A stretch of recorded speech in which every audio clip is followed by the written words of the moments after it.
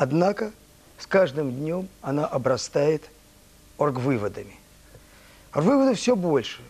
Похоже, американская политика настолько нуждается в новом мировом пугале, что там готовы похоронить даже самые основополагающие ценности цивилизованного рынка и либеральной американской экономической идеологии.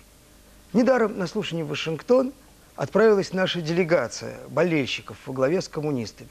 Они уж точно рассчитывают услышать там то, что не мечтали уже давно услышать дома. Однако, здравствуйте.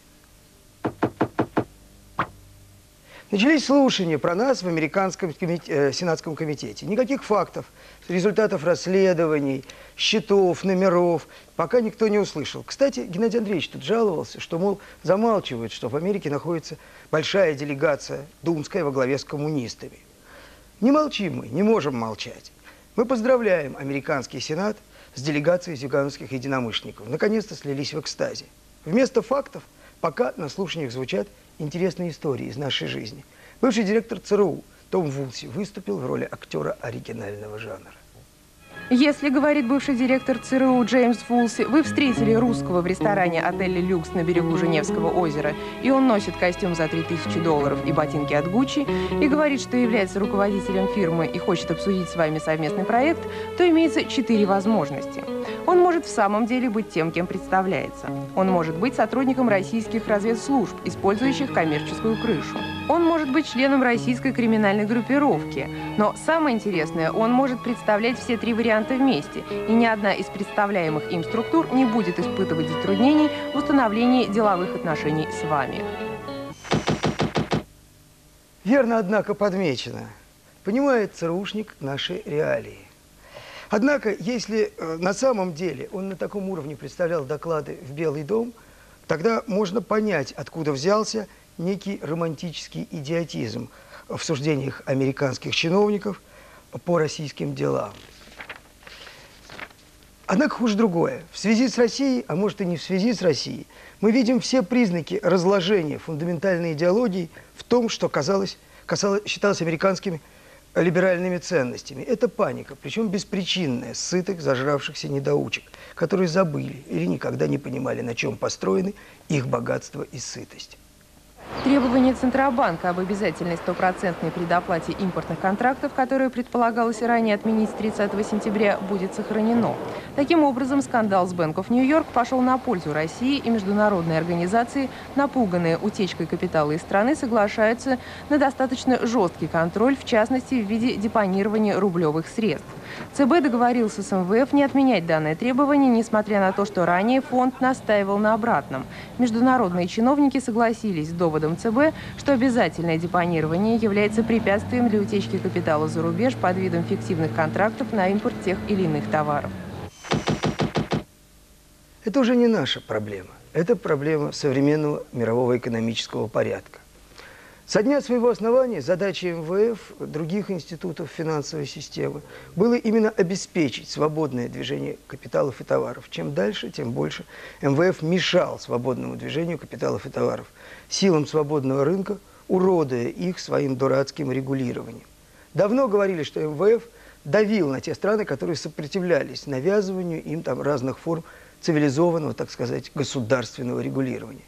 Вот то, что сейчас делается, означает, что МВФ и сам, и под давлением администрации США становится препятствием на пути свободного рынка, на пути свободного движения капитала, основным источником мировых финансовых диспропорций и организатором глобальных экономических кризисов.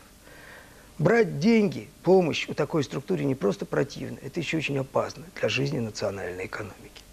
Как сообщил министр финансов США Лоренс Саммерс, на слушаниях в Конгрессе уже на этой неделе администрация предложит национальную стратегию по борьбе с отмыванием денег. Стратегия будет включать американские санкции в отношении иностранных государств, их официальных представителей, если они с точки зрения Вашингтона недостаточно активно участвуют в международных мерах против отмывания денег. О чем, собственно, говорит этот творец нового мирового порядка? А просто о том, что юрисдикция США теперь распространяется на те страны и их представителей, которых они считают покровителями мафии, отмывающими деньги.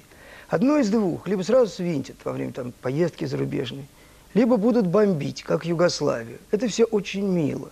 Однако критерии, по которым определяются такие потенциальные жертвы нового порядка, могут быть самыми удивительными. Что стоит хотя бы нынешний скандал с Bank New York? Принцип простой. Что проверять, если хороший человек стукнул? Вот свежий пример, как работает этот самый американский принцип. Как сообщает Вашингтон-Пост, недавно младшие братья Хиллари Клинтон, Энтони и Хью Ротхэмы нанесли деловой визит в Грузию. Там они договорились об инвестировании 118 миллионов долларов в аджарские ореховые плантации.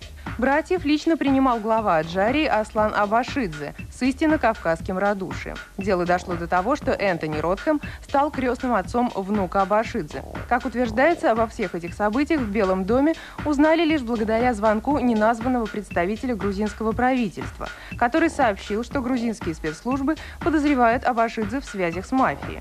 Разъяснительную беседу с братьями поручили провести советнику президента по национальной безопасности, который объяснил, что подобный проект может бросить тень на внешнюю политику США. Ротхэмом было предписано аннулировать сделку. Заметьте, Аслан Абашидзе наиболее сильный противник Шеварнадзе в борьбе за президентство. Однако наш человек посоветовал, какая-то шеварнадзовская шестерка, и готова. Для сведения, для сведения американской администрации сообщаю, вот их клиент, Эдуард Шеварнадзе, уж точно связан с мафией. Он, собственно, и есть мафия. На сегодняшний день практически вся в Грузии. Им это прекрасно известно. Поэтому я зря говорю, так для общего развития, бисер перед свиньями. Грязное дело политика. Надо заметить, не только американское. Однажды Петрович влип в историю. Ой. Эй! Ага, да, да. Во, это... Что? Да. Тик, тик,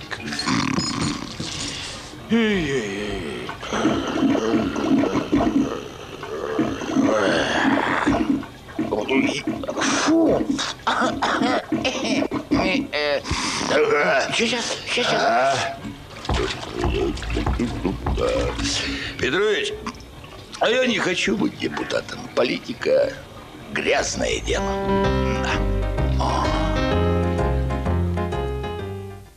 Простая эта мысль никак вот не приходит в голову соискателям народной любви. Они почему-то полагают, что смогут остаться чистыми, обливая противника отборными помоями. Если вы помните, был сюжет очень милый. Немецкая Бильд написала, что Юрий Михайлович Лужков купил жеребца за 150 тысяч американских долларов. Ну, купил и купил. В конце концов, любовь к животным – это качество, безусловно, украшающая политика. Вот только что стало известно, что Лужков решил подать в суд на Бильд о защите чести, достоинства и деловой репутации в суд на Бильд. Интересно, какой мудрец Юрию Михайловичу это присоветовал. Лужков попал. Во-первых, там же не Мосгорсуд, где он все дела выигрывает, а Бильд – это вам не моська комсомольца. Это самая массовая желтая газета в Германии. Теперь Лужкову обеспечен в Германии мощнейший пиар по полной программе. А господин Боос будет рассказывать, что это козни кремлевской администрации. До свидания. До завтра.